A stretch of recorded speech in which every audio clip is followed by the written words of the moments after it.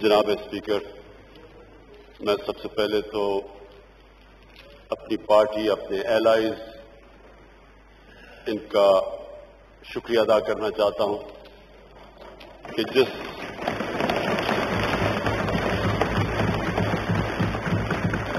जिस जज्बे में इन्होंने ये बजट पास करवाया, मैं एलाइज का भी शुक्रिया अदा करना चाहता हूँ कि बड़ी स्पेकुलेशन थी, बड़ी स्पेकुलेशन थी कि कुछ भी हो सकता है। बजट से एक रात पहले कोई टीवी अगर देख रहा होता तो समझता कि हुकूमत की आखिरी आखिरी दिन है। लेकिन मैं अपनी खातन का खास तौर पर शुक्रिया अदा करना चाहता हूँ।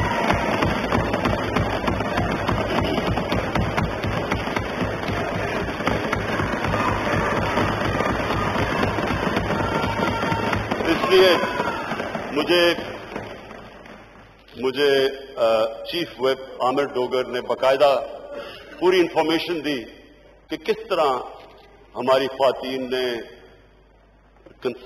सारी असेंबली में उन्होंने गेन कितना किया।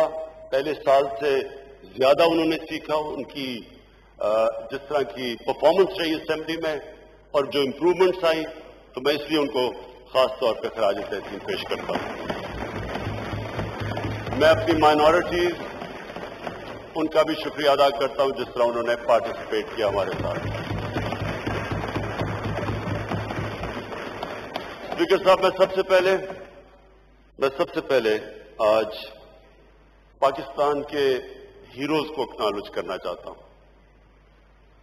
ये पाकिस्तान के हीरोज हैं जिनके मैं नाम लेने लगा हूँ।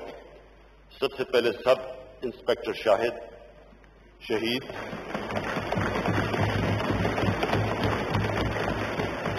और स्टॉक एक्सचेंज के तीन सिक्योरिटी गार्ड्स इफ्तार खुदायार हसन अली और मुझे अफसोस से कहना पड़ता है कि हसन अली, उनकी जो बहन को पता चला कि वो शहीद हो गए तो उनको भी हार्ट अटैक हुआ और वो भी इस दुनिया से निकल गई तो मैं इनका, इनको आज इसलिए खराज तहसीन पेश करता हूँ कि ये बहुत बड़ा, इन्होंने कुर्बानियाँ दे के हमारी सिक्योरिटी मुकाबला करके एक बहुत बड़ा सानिया, जो कि बड़ी प्लानिंग से हमारा हमसाया मुल्क हिंदुस्तान, पाकिस्तान को डिस्टेबलाइज करने के लिए उन्होंने बड़ा प्लान बनाया हुआ था। ये बहुत ज़्यादा असला लेके आए थे। इनका इनका सिर्फ़ एक एम था कि स्टॉक एक्सचेंज के अंदर जाके और वहाँ उनको हॉस्टेज रखते। और जो एक दफ़ा मुंबई में बहुत बड़ी दहशतगर्दी हुई थी बिल्कुल उसी तरह का प्लान था कि स्टॉक एक्सचेंज में भी ये वही करते, उसी तरह बेकसूर लोगों को कत्ल करते और एक एक मुल्क में एक फिजा बनाते अनस्टेबिलिटी की अनसर्टेनिटी की। ये प्लान हमें कभी कोई शक नहीं कि ये हिंदुस्तान से हुआ है। पिछले दो महीने से मेरी कैबिनेट जानती है, मेरे कैबिनेट मिनिस्टर्स के, मैंने अपने कैबिनेट मिनिस्टर्स को बताया हुआ है। कि हम हम, हमारी जितनी भी एजेंसीज हैं हाई अलर्ट पे थी। हमने कम अज कम चार बड़े बड़े जो अटेम्प्ट थे दहशतगर्दी के, उनको हमने, हमारी एजेंसीज इंटेलिजेंस एजेंसीज की वजह से, हमने पहले उनको प्रीएम्प्ट कर लिया और दो इस्लामाबाद के इर्द गिर्द थे।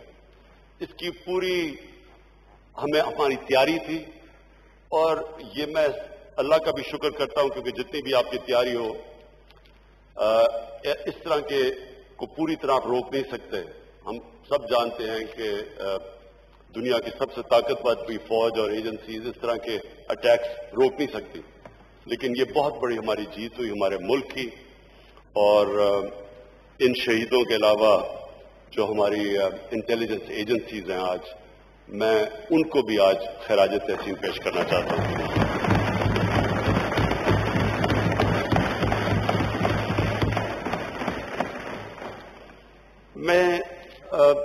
इस बजट सेशन में बड़ी तकरीरें हुई, हर किस्म की ऑपोजिशन ने भी तकरीरें की उसके ऊपर मैं बाद में आऊँगा। अपनी जो मेरी फाइनेंस टीम थी, मैं जानता हूँ कि ये कितना मुश्किल बजट था। सिंपली मैं आप सबके सामने रखता हूँ कि हमारा, हमें, हमारा हुआ क्या, कि हमने पाँच हज़ार अरब रुपया इकट्ठा करना था। वो रिवाइज हो के हमारा सा थोड़ा सा नीचे आ गया, चार हज़ार नौ सौ अरब। ये हमारा एफबीआर का टारगेट था। और इस टारगेट पे हम जा रहे थे।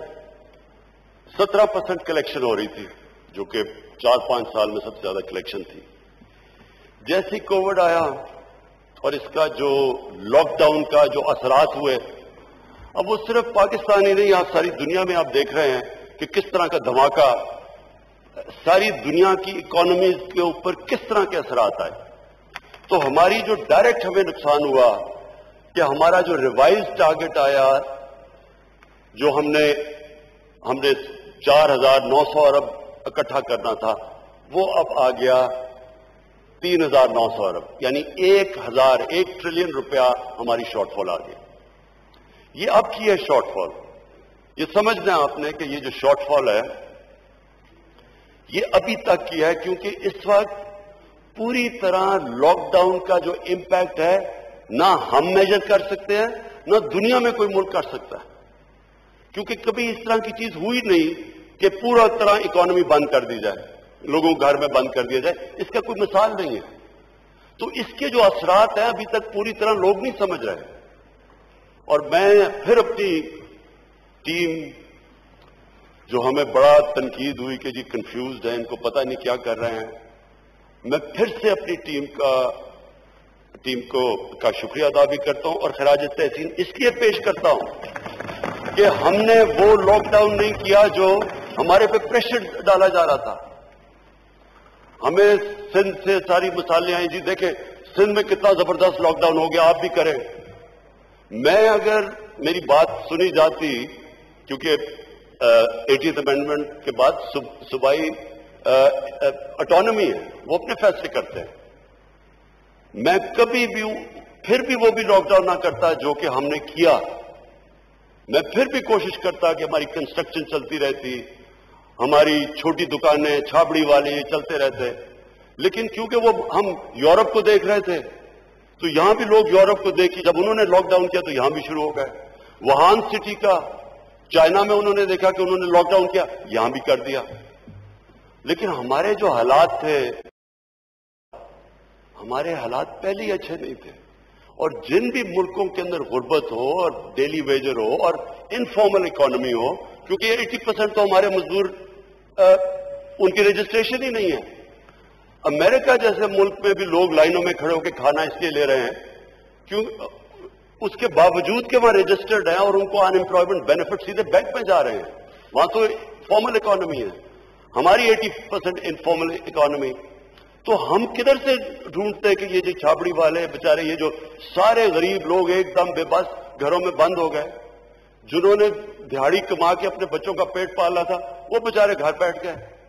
और जब मुझे तनकीद हो रही थी कि जी आप भी बंद करें जिस तरह ये हिंदुस्तान में हुआ और ये जिस तरह सिद्ध में किया गया तो स्पीकर साहब लोगों से अगर पूछें उन दिनों के अंदर, ये गरीब बस्तियों में जब जाते थे, गाड़ी जब जाती थी, गाड़ी के ऊपर हमला हो जाता था। लोग गाड़ी को अटैक कर देते थे, भूखे लोग थे बेचारे। तो शुक्र है हमने ये प्रेशर भी बर्दाश्त किया, फैसला भी किया कि हमने कंस्ट्रक्शन खोल लिए अपने अपनी जो जो एसओपीज के साथ हम इकोनॉमी खोलते रहे। हम सबसे पहले थे इसमें आहिस्ता आहिस्ता आज जो दुनिया मान गई है कि सिर्फ़ एक ही तरीका है कोविड का मुकाबला करना और वो है स्मार्ट लॉकडाउन। आज दुनिया ही एक्सेप्ट कर बैठी है। और मुझे मैं फिर से कि हम, माशाल्लाह, हम पहले थे। कंफ्यूजन हमारे में नहीं थी कंफ्यूजन उन्हों में थी जिनको समझ, जिन्होंने कभी पाकिस्तान के गरीब इलाकों में नहीं कोई गया। इन्होंने जो लोग कह रहे थे, जो लोग कह रहे थे जी, लॉकडाउन करो उन्होंने कभी यहाँ कच्ची बस्तियों में नहीं गए, गरीबों की बस्तियों में जाके देखे तो सही आठ आठ लोग एक कमरे में हैं उनको उनको आप लॉकडाउन कर दें। जो बेचारे दिहाड़ीदार थे, वो किधर से वो अपने बच्चों का पेट पालते? और हम बचे, एक तो हमने जल्दी खोला, और दूसरा, मैं आज, सानिया नश्तर तो इसलिए खराज तहसीन पेश करता हूँ कि जिस तरह उन्होंने इतने थोड़े वक्त में इतना ज़्यादा पैसा और इतनी शफाफियत से डिस्ट्रीब्यूट किया, कोई इसकी मिसाल ना पाकिस्तान में मिलती है, ना किसी भी आप दुनिया के मुल्क में देख लें जिधर इनफॉर्मल इकोनॉमी कोई इसकी मिसाल नहीं मिलती। जिसकी वजह से आज हमारा इतने बुरे हालात नहीं है। लेकिन इसका ये नहीं मतलब कि आगे हमारे बुरे हालात, ये जो लॉकडाउन है, इसकी वजह से आएँगे नहीं। क्योंकि कई सारा सर्विस सेक्टर मुतासर है इससे। मुझे अपने जो टूरिज़्म के ऊपर हमारा सारा इलाका नॉर्दर्न एरियाज़ ये सारा गलियात, ये जितने भी इलाके गर्मियों में टूरिज़्म पर रिलाय करते थे, वहाँ सब उनके आज बुरे हालात हैं। सारी दुनिया में टूरिज़्म के बुरे हालात हैं। लेकिन हमारे जो, ये जो पहाड़ी इलाके थे, वहाँ तो सिर्फ़ लोग डिपेंडेंट गर्मियों के टूरिज़्म पे करते थे।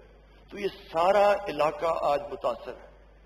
हमारे प्राइवेट स्कूल जो छोटे प्राइवेट स्कूल्स ये सारे मुतासर हैं। उनके देहातों के अंदर जो छोटे छोटे स्कूल एकदम जब बंद कर दिया आपने सब कुछ, वो सारे टीचर्स बेचारे बेरोजगार हैं, उनकी रोजी नहीं है। यानी मैं जो बड़े बड़ों की बात नहीं कर रहा, पैसे वाले लोगों को ये इतना फ़र्क नहीं पड़ा।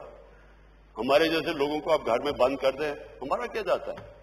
सरकारी नौकर जिनको तनख्वाहें मिल रही हैं, उनको कितना नुकसान होगा? लेकिन जो मेहनत का श्लोक बेचारे जो अपने बच्चों का पेट पालते थे, अभी तो वो एक तो उससे बचे, लेकिन अभी भी वो कहते हैं ना not out of the woods अभी भी हम पूरी तरह अपनी पार्टी में, हम गवर्नमेंट बैठ के सोच रहे हैं कि हम मजीद अब इनकी कैसे मदद करें, क्योंकि बारह हज़ार रुपए वो तो खर्च हो गए होंगे।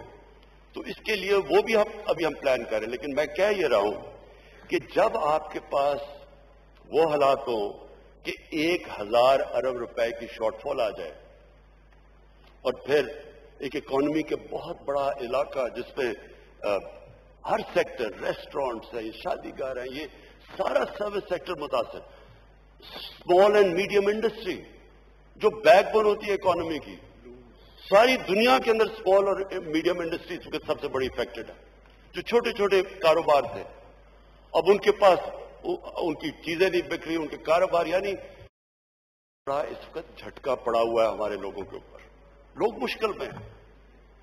हम बच ऐसे इस, तरह भी गए कि हमने अपने एग्रीकल्चर सेक्टर को इस तरह नहीं किया और मुल्कों के अंदर तो महँगाई ये खाने पीने की चीज़ें बहुत महँगी हो गई है। गवर्नमेंट सब्सिडाइज कर रही है।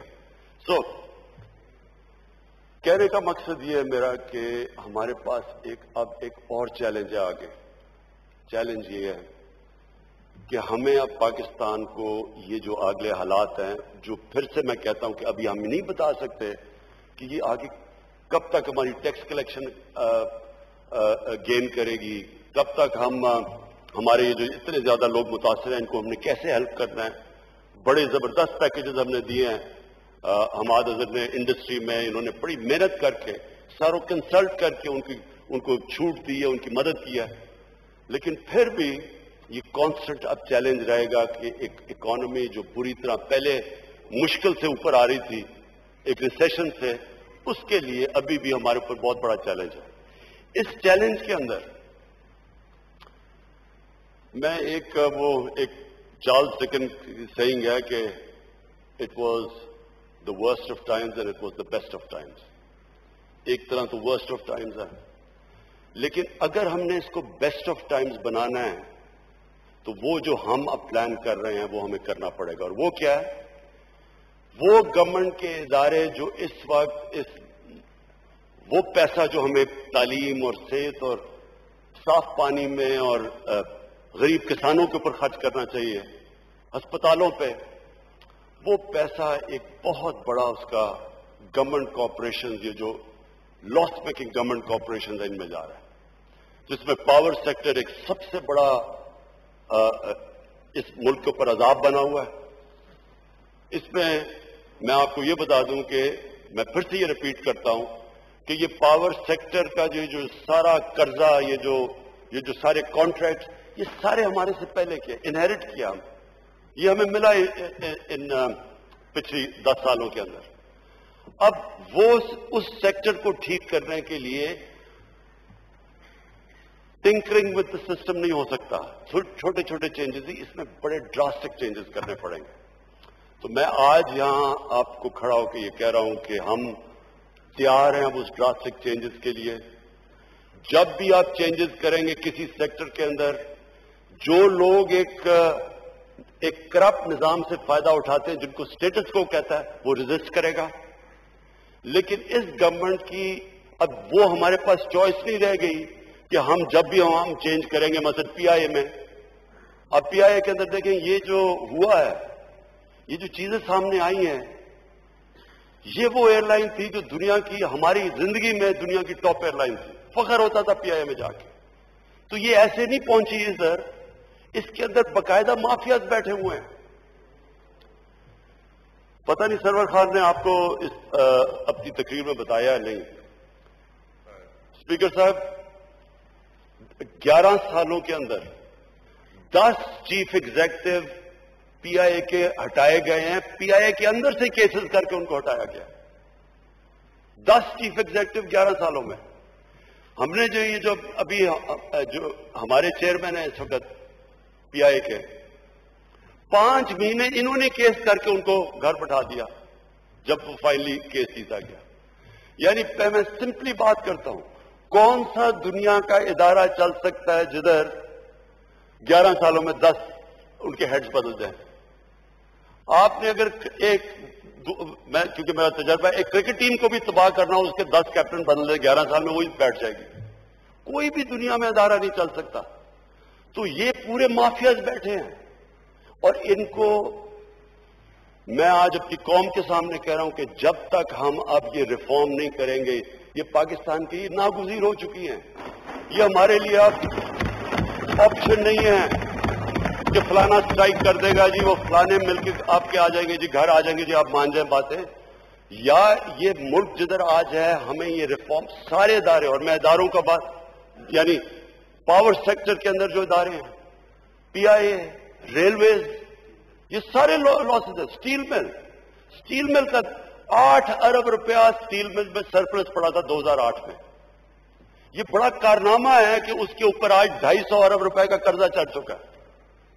पिछले हम पिछले हम, जब से बंद पड़ी है स्टील मिल जो कि नूनली के दौर में थी, हमने चौंतीस अरब सिर्फ़ बंद स्टील मिल में सैलरीज में दे चुके हैं।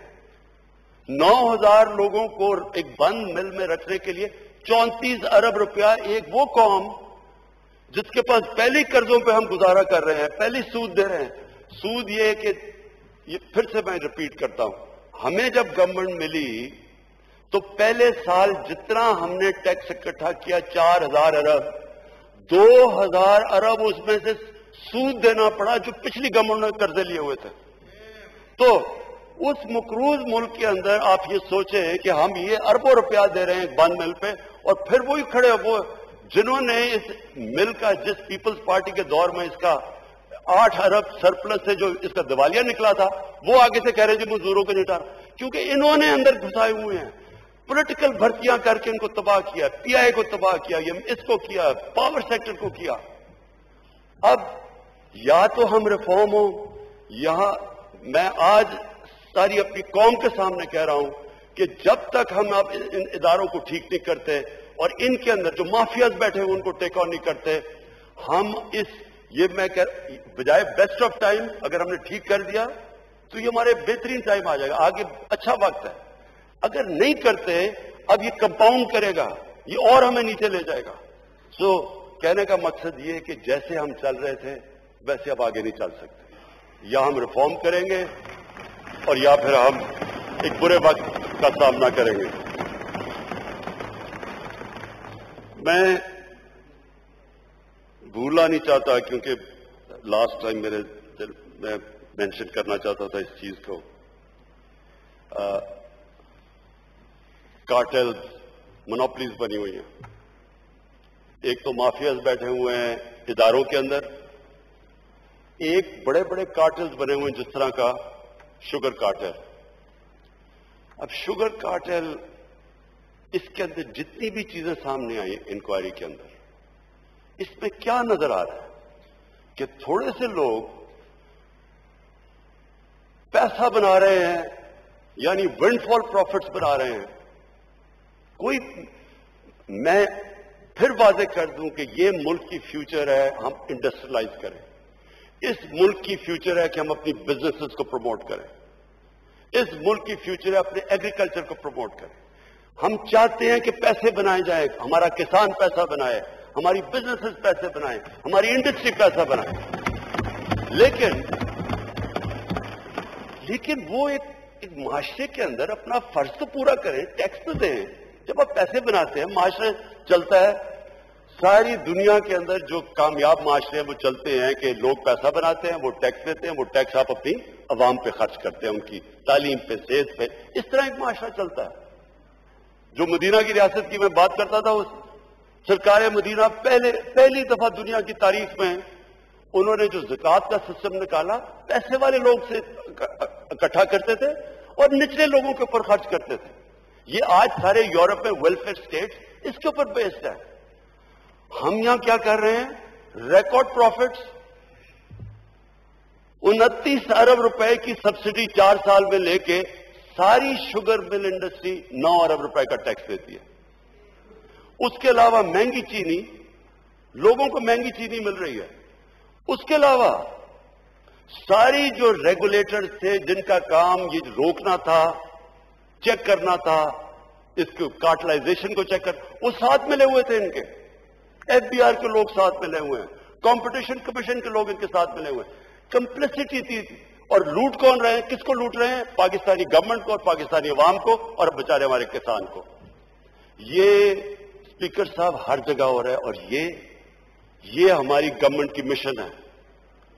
हमारी मिशन ये है कि हमने इस मुल्क में, जब हम कहते हैं इंसाफ का निज़ाम अदल और इंसाफ, वो मतलब ही ये होता है कि जो मेहनत करता है वो पैसा बनाए, लेकिन अपना वहाँ, अपना जो शेयर है वो दे, ताकि हम निचले से लोगों के ऊपर खर्च करके ऊपर उठा दें।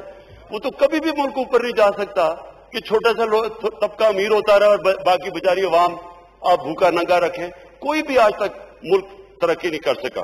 तो ये सारे कार्टेल इन सबको मेरी ये मिशन है कि हम इन सारों को कानून के नीचे लेके आए।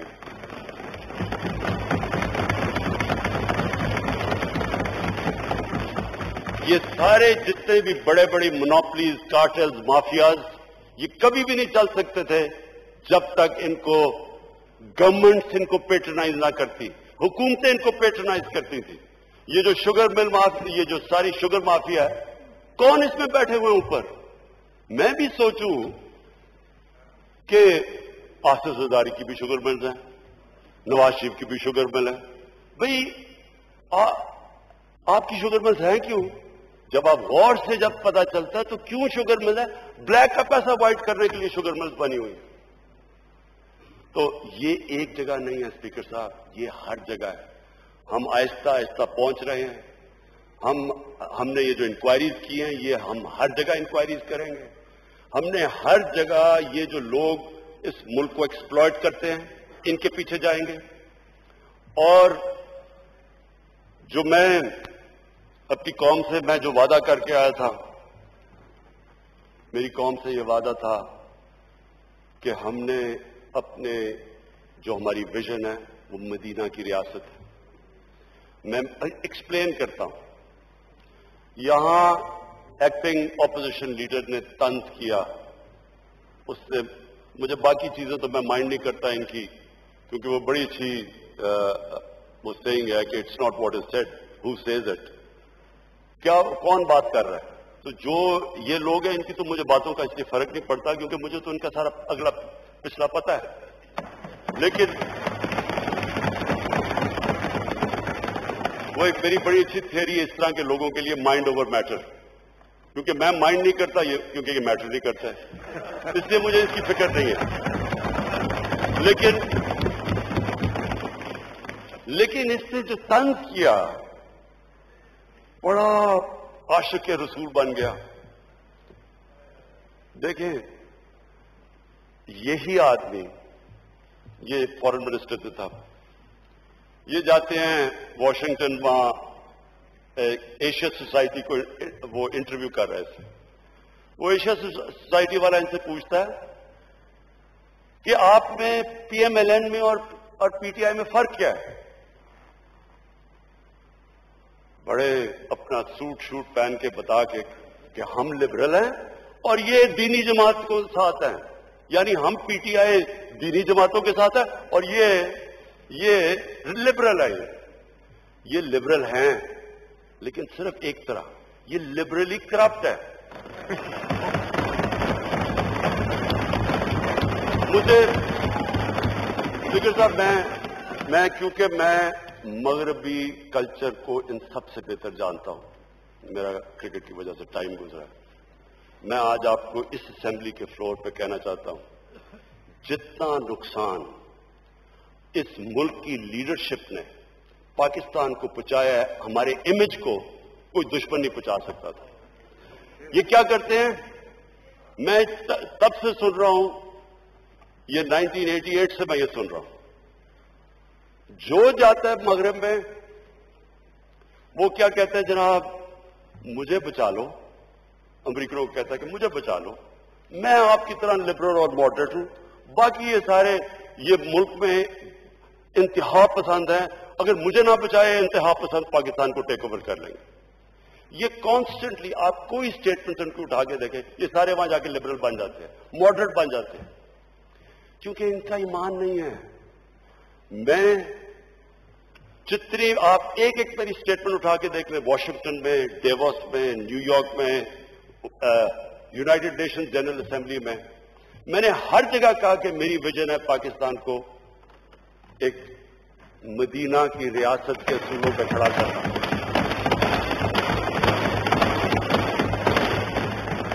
मैंने आ, स्पीकर साहब जनरल असेंबली के अंदर बाकायदा मेरे ख्याल में पहली दफ़ा किसी ने वहाँ ये बताया कि मदीना की रियासत क्या थी?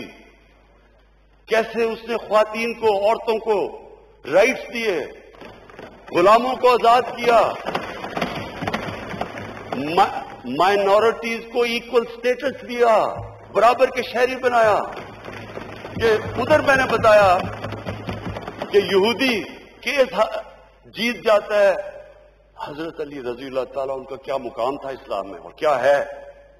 उनसे के वो केस हार जाते यहूदी से? ये था इंसाफ का वह निज़ाम, ये इक्वालिटी थी रूल ऑफ़ लॉ था। और वहाँ मदीना की रियासत, मदीना की रियासत की सबसे बड़ी चीज़ ये थी कि इंसानियत थी वहाँ। पहली वेलफेयर स्टेट थी। आखिरी खुतबे में हमारे नबी मोहम्मद सल्लल्लाहु अलैहि वसल्लम आखिरी खुतबे पे खड़े होकर कहते हैं कि सब इंसान बराबर है। कोई रेस, जो भी मर्ज़ी आपका रंग हो, सब इंसान हज़रत आदम की औलाद है। आज आप अमेरिका में देखें जो बेचारे अफ्रीकन, अमेरिकन से, जिस तरह बेचारे वो सड़कों पर निकले हुए हैं। आज तक उनको वो नहीं किया जो 1500 साल पहले हमारे नबी सल्लल्लाहु अलैहि वसल्लम ने रेसिज्म के खिलाफ बात की थी। एक मॉडर्न स्टेट थी। एक मॉडर्न स्टेट थी, जो मॉडर्न प्रिंसिपल्स पे थी। और मैं बार बार एक चीज़ कहता हूँ, अल्लाह ने हमें कुरान में हुक्म दिया कि हमारे नबी सल्लल्लाहु अलैहि वसल्लम की सुन्नत पे चलो। वो किस लिए कहा है? हमारी बेहतरी के लिए। जो इंसान उनकी सुन्नत पे चलेगा, वो ऑटोमेटिकली ऊपर चला जाएगा। और जो जो कौम मदीना की रियासत पे, सुरों पे चलेगी, वो उठ जाएगी। चाहे वो मुसलमान ना भी हो। आज जो मोहम्मद अब्दू ने एक बहुत बड़ा स्कॉलर था, वो जब यूरोप गया पहली दफ़ा, आज से सौ, सवा सौ साल पहले तो जब वो वापस आया, जब वो वापस आया मिस्र में तो उसने बड़ी ज़बरदस्त बात की। उसने कहा, मैं यूरोप गया, वहाँ मुसलमान ही नज़र आए। लेकिन बड़ा इस्लाम नज़र आया। और वापस आके कहता, मिस्र में, कि यहाँ मुसलमान तो बहुत है, मुझे बड़ा कम इस्लाम नज़र आ रहा है। जो उनकी सुन्नत पे चलेगा, अल्लाह तो उसको मानता है। जो उनकी, जो इंसानियत होगी, जिस माशरे में इंसाफ होगा, जिसमें मेरिट होगी, जिसके अंदर इंसानों को बराबर का समझा जाएगा, वो माशरा दुनिया में ऊपर चला जाएगा। और आज आपने अगर स्कैंडिनेवियन, जो मैंने जाके देखा, स्कैंडिनेवियन ममालिक में, आप देखेंगे कि वहाँ किस तरह की उनकी कितनी, कितने वो करीब है मदीना की रियासत के और हम कितने दूर है उससे। जो मुझे सबसे, जो मेरा आखिरी पॉइंट है। आखिरी पॉइंट से पहले मैं सिर्फ़ आज सब इस हॉल के सामने एक्नॉलेज करना चाहता हूँ, जो पाकिस्तान के हेल्थ वर्कर्स हैं, हमारे डॉक्टर्स हैं, जितनी वो फ्रंट लाइन में मेहनत कर रहे हैं।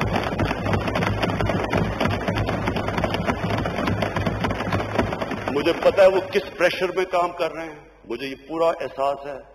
हम तो इंशाल्लाह हमारी गवर्नमेंट का पूरी पूरी तरह हम जो कर सकते हैं उनके लिए बैकिंग करेंगे। लेकिन उनको असल में तो उनको रिवॉर्ड अल्लाह देगा, क्योंकि ये जहाद है, ये असल जहाद है जो वो आज पाकिस्तान के हॉस्पिटल में कर मेरा आखिरी पॉइंट स्पीकर साहब, वो ये कि देखें, जो मदीना की रियासत में हमारे नबी सल्लल्लाहु अलैहि वसल्लम ने किया, उन्होंने लोगों की इखलाकियात उठा दी। उन्होंने लोगों का जो मॉरल स्टैंडर्ड्स थे, वो उठा के ऊपर ले गए। वही कौम थी, वो बदल गई। उन्होंने अपनी मिसाल से लोगों को चेंज कर दिया। कुरान की आयत है कि मैं कभी किसी कौम की हालत नहीं बदलता जब तक वो कौम खुद अपनी हालत बदलने की कोशिश ना करे। उन्होंने जो उनका कैरेक्टर था उससे अपनी मिसाल से कौम को बदला। जो जो वो कौम बनी, इंडोनेशिया और मलेशिया के अंदर कोई मुसलमान फौज नहीं गई। सिर्फ़ मुसलमान ताजर गए, कई सूफी हजरात गए। उनके कैरेक्टर को देख के लोग मुसलमान हो गए। उनके कैरेक्टर ऐसे थे कि वो नाप तोल में कोई ख्यानत नहीं करते थे। वो कोई किसी किस्म का धोखा नहीं देते थे। वो कैरेक्टर ऐसा था कि लोग मुतासर होकर उन, इस्लाम कबूल किया। पाकिस्तान में जो सबसे ज़्यादा जुल्म किया है, ये तीस साल की पॉलिटिक्स में इन्होंने हमारी मोरालिटी खत्म कर दी। इन्होंने हमारी अखलाकियात खत्म कर दी। और मैं इस आदमी की अब बात करता हूँ जो यहाँ अपने आप को डेमोक्रेट कहता है। यहाँ नवाज़ शरीफ तकरीर कर रहा था। ये इधर बैठा हुआ था। नवाज़ शरीफ अपनी तकरीर में कहता है, ये हैं वो दस्तावेजात जो बताएँगे कि लंदन के फ्लैट्स किधर से खरीदे गए। पैनमा में पकड़े गए इनके, नाम आ गया इनका उससे पहले तो मानते नहीं थे।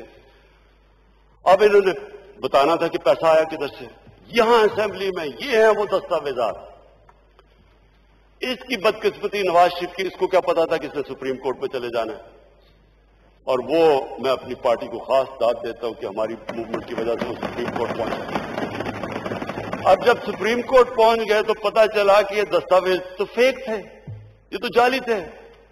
और सुप्रीम कोर्ट में पकड़े जाना था तो सुप्रीम कोर्ट में एक और जाली चीज़ आ गई, कतरी खाता आ गया। जो आदमी इस तरह झूठ बोले, मुल्क का सरबरा, वो झूठ बोले। और ये साहब यहाँ बैठ के कहते हैं, मियाँ साहब फ़िक्र ना करें, लोग पैनमा को भूल जाएँगे थोड़ी देर के बाद। यानी कौम का पैसा चोरी करके मुल्क का सरबरा बाहर लेके जा रहा है। जो पैसा गरीबों का, जो स्कूलों पे, अस्पतालों पे खर्च होना है, वो मुल्क का प्राइम मिनिस्टर चोरी करके बाहर लेके जा रहा है। और ये साहब, ये जो अपने आप को डेमोक्रेट कहते हैं तो मियाँ साहब फ़िक्र ना करें। आप जितना मर्ज़ी लूटे, हम आपके साथ खड़े हैं। ये डेमोक्रेट्स नहीं है। स्पीकर साहब, हम इनको डिग्निफाई करते हैं, इनको डेमोक्रेट्स कह के। इन्होंने हमारी मोरालिटी खत्म कर दी है इस मुल्क की। इन्हों, इनको आप, हम जब इसकी तकरीरें सुनते हैं, वो लोग जिनके ऊपर करप्शन के केसेस जो करप्ट लोगों को डिफेंड करते हैं, वो कन्विक्ट हो गया पाकिस्तान के सुप्रीम कोर्ट से। ये कहता है, जी, मेरा वो लीडर है। तो ये बच्चे जो हमारे देख रहे होंगे, उनको क्या, कोई अच्छे और बुरे की तमीज नहीं पता चलेगी। वो मौलाना रूबी की सही है कि कौम मरती तब है जब वो अच्छे और बुरे की तमीज खत्म करती है। मॉरली ये कौम जब मरती है, कौम मर जाती है।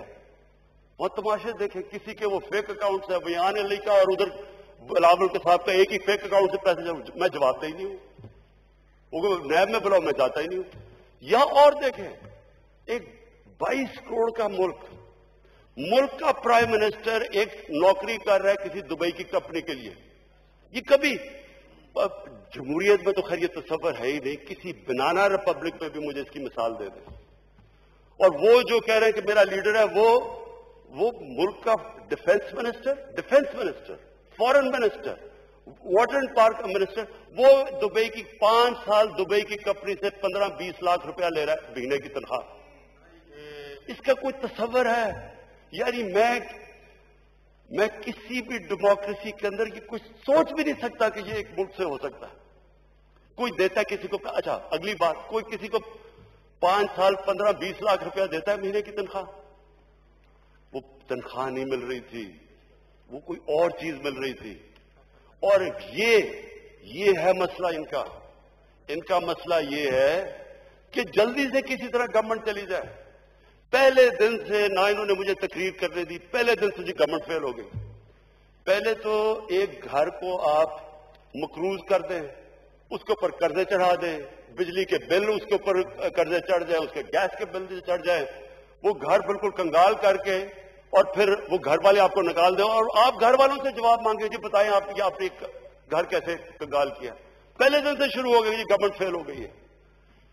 गवर्नमेंट जब ये दस साल दोनों हुकूमत कर रहे थे, तब इनको नहीं पता चल रहा था कि जब छह ट्रिलियन से मुल्क का कर्जा तीस ट्रिलियन पे जा रहा था, तब इन्होंने नहीं कभी कहा कि गवर्नमेंट फेल हो रही है कि हम गिराना चाहिए जी गवर्नमेंट को। तब तो इकट्ठे हो जाते थे बचाने के लिए एक दूसरे को। अभी गवर्नमेंट को बीस भी नहीं हुए पहले दिन से जी फेल हो गई वो कभी वो, वो कंटेनर पे सारे चढ़ जाते हैं कभी कुछ है। इनके अंदर कॉमन क्या है?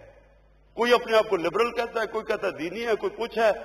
खैर नून ली का तो कुछ भी हो सकता है कभी जहादी भी बन जाएँगे कभी जहादियों से भी पैसे ले लेंगे और कभी इंग्लैंड अमेरिका में लिबरल भी बन जाएँगे। इनका कोई दीनमान तो है ही नहीं। ये इकट्ठे एक ही पॉइंट पे हैं। स्पीकर साहब इनको डर लगा हुआ है। इनको डर लगा हुआ है जिस तरह अभी हमें दुबई से चीज़ें मिल रही हैं कि तनख्वाह क्यों मिल रही थी इनको पता है कि हमें चीज़ें मिल रही हैं। इनको सबको डर लगा हुआ है कि जितनी देर ये गवर्नमेंट रहेगी, इन, इनके सारी जो चीज़ें, जो जो इन्होंने, ये जो कर्जा चढ़ाया था तीस अरब तीस हज़ार अरब का, ये इनको पता है कि हमें चीज़ें मिल रही हैं। इसलिए जल्दी में किसी तरह गवर्नमेंट चली जाए, किसी तरह इनकी चोरी बच जाए। तो मैं कंक्लूजन में सिर्फ़ जो मैं अपनी सारी पार्टी को उस दिन कह रहा था मैंने ये जब कहा कि मैंने ये नहीं कहा कि हमारी गवर्नमेंट नहीं जाने वाली या मैंने ये नहीं कहा, जिस तरह कभी को कहते कुर्सी बड़ी मज़बूत है। कोई मज़बूत नहीं होता। अल्लाह के ऊपर होता है। आप आज हैं, कल नहीं हैं।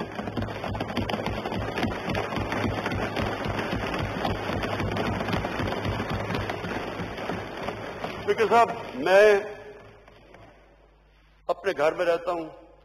सारे अपने खर्चे बर्दाश्त करता हूँ स्वाय ट्रैवल के और सिक्योरिटी के जो जो के मैं नहीं कर सकता। उसके अलावा सारे मेरे खर्चे, सब कुछ मैं इसलिए करता हूँ कि मुझे कभी कभी फ़िक्र ना हो अपनी कुर्सी छोड़ने की। कभी भी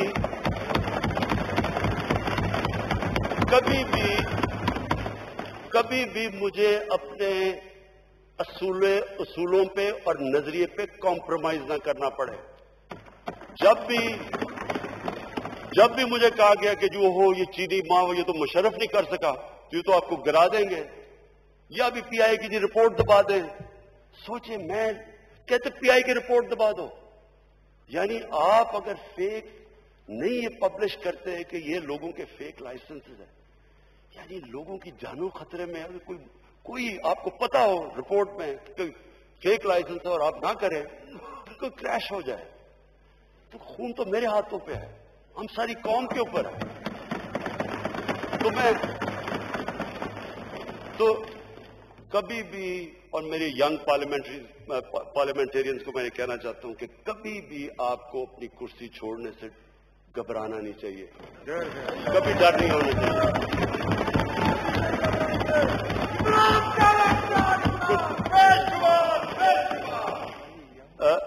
कुर्सी आने जाने की चीज़ है। लेकिन जो नहीं, जो आपको कभी छोड़ना नहीं चाहिए, वो है आपका नज़रिया। जब तक,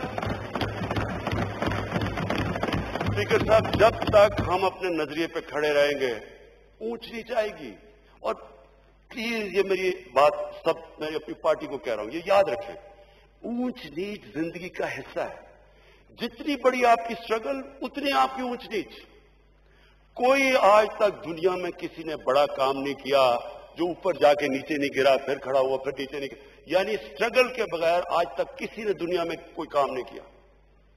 जब आप स्ट्रगल के बगैर एक पार्टी का चेयरमैन आपको बना देते हैं तो आप कहते हैं, फिर जब बारिश आता है तो पानी आता है। यानी आपने आपने कभी स्ट्रगल ही नहीं की। आप लॉकडाउन लॉकडाउन लॉकडाउन कह रहे हैं, यही नहीं पता कि बेचारे गरीब बस्तियों में लोग रहते कैसे, क्योंकि आपको पता ही नहीं है। लीडरशिप एक स्ट्रगल का नाम है। एक स्ट्रगल लीडर को बनाता है। मुश्किल वक्त लीडर का तो सबसे बड़ा टेस्ट ही होता है मुश्किल वक्त में। और वो मुश्किल वक्त में तब खड़ा होता है जब उसको स्ट्रगल करनी आती है, वो घबराता नहीं है।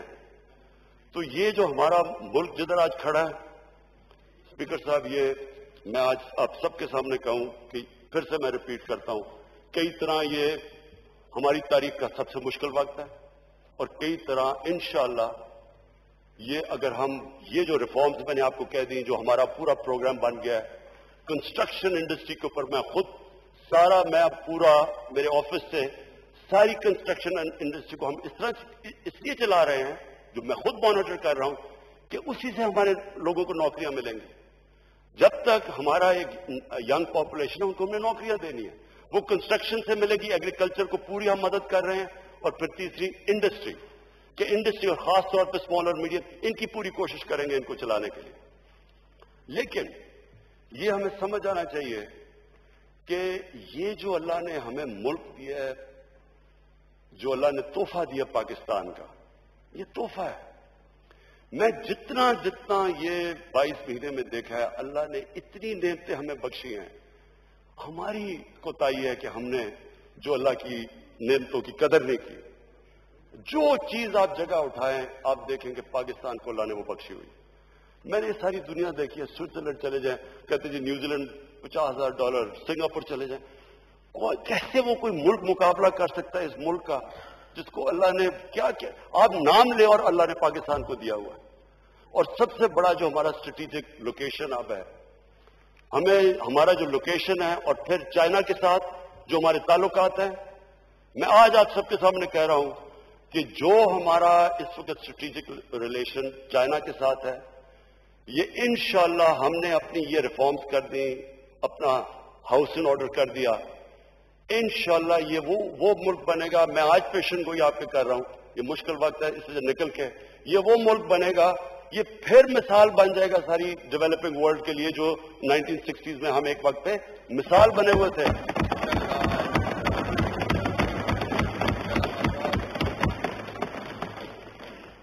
मैं फिर से ये आपको सबको ये कह दूँ कि कभी भी इस हमारी जमात को, हमारी गवर्नमेंट को कोई नहीं करा सकता।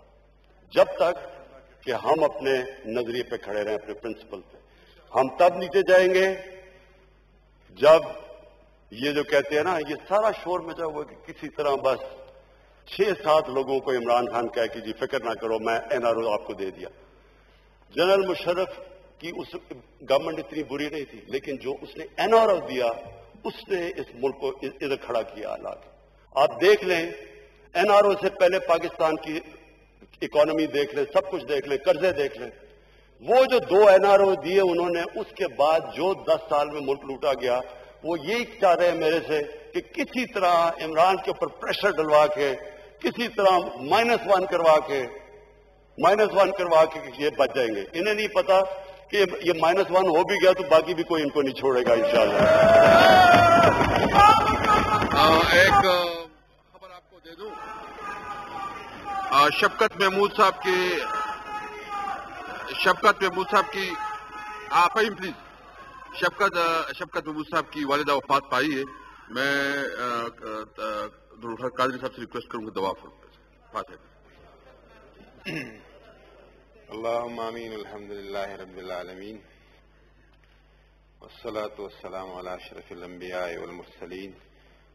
सैदना मोहम्मद वासहाबी वाहल बैती वाजवाजही वज़ुर्रियाती अजमाइन अल्लाफ़िरहा वरहमहा वतजावज़ अनहा वन तरहमरहमीन अल्लाह ताला मरहूमा की मगफरत फरमाए, दराजात बुलंद फरमाए और पसमानदगान वारसाम को अल्लाह ताला जब सबर, इस्तकामत अता फरमाए। हक अल्लाह अकबर अल्लाह अकबर, ला इलाहा इल्लल्लाह, अल्लाह अकबर अल्लाह अकबर, वलिल्लाहिल हम्द। पाकिस्तान मुश्किल हालात से निकलकर ही अजीम मुल्क बनेगा। मुश्किल हालात और जद्दोजहद के बगैर कोई शख्स लीडर नहीं बनता। अपने घर में रहता हूँ अखराज खुद करता हूँ, इसलिए कुर्सी जाने का कोई खौफ नहीं है। सिर्फ़ और सिर्फ़ अल्लाह की ज़ात से खौफ है। ज़रात, सनत और तामीरत के शोबों को खसूसी अहमियत देता हूँ। अकलीतों ने जिस तरह से बजट के हवाले से हिस्सा लिया उस पर उनका शुक्रगुजार हूँ और पूरे ऐवान का शुक्रगुजार हूँ बशमूल अपनी पार्टी के अरकान के।